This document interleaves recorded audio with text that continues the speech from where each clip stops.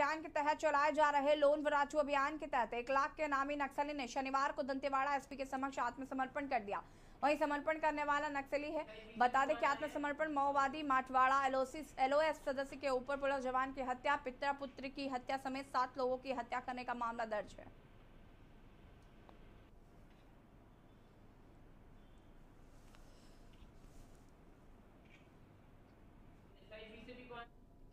राज्यपाल अनुसुईया उइके के तीन दिवसीय बस्तर प्रवास के दौरान जगदलपुर पहुँचने पर स्थानीय माँ दंतेश्वरी एयरपोर्ट में आत्मीय स्वागत किया गया।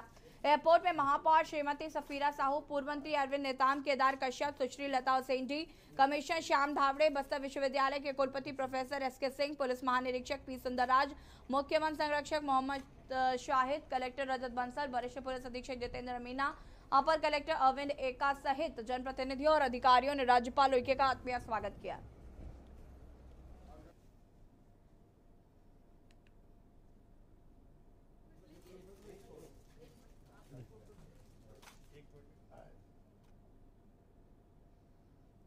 और वक्त हो गया एक छोटे से ब्रेक का जल हाजिर होते हैं आप देख रहे हैं के न्यूज़ खबरों का सारथी।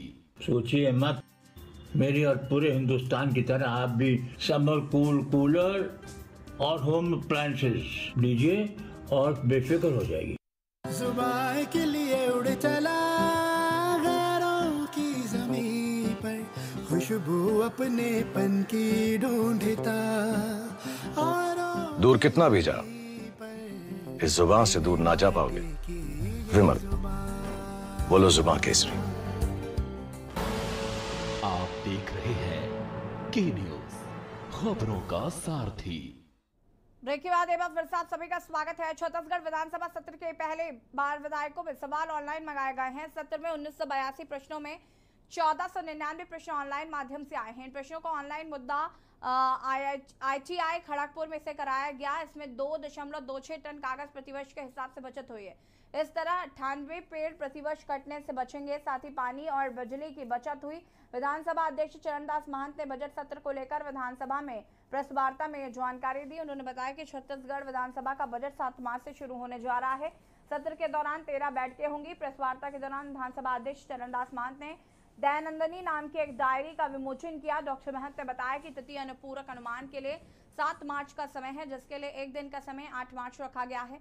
वहीं बजट सत्र के लिए प्रश्नों की संख्या सोलह है, जिनमें से आठ सौ चौवन तारांकित प्रश्न और आठ अंतरांकित प्रश्न हैं। ध्यान आकर्षण की 114 सूचनाएँ, स्थगन की 10 सूचनाएँ और शून्यकाल की 16 सूचनाएँ हैं। इसके साथ ही शासन की तरफ़ से छत्तीसगढ़ वनाधिकृत नियमितीकरण संशोधन प्रस्ताव भी रखा जाएगा। राज्यपाल महोदय के अभिभाषण पर कृतज्ञता ज्ञापन के लिए आठ तारीख निर्धारित है। माननीय भूपेश बघेल जी, जो वित्त विभाग के भार साधक मंत्री हैं, वे अपना बजट या आय व्यय का उपस्थापन करेंगे 9 मार्च को साढ़े बारह बजे। और इस पर चर्चा शुरू हो जाएगी 10 मार्च को। विभागवार चर्चा के लिए 11 मार्च से 23 मार्च तक का समय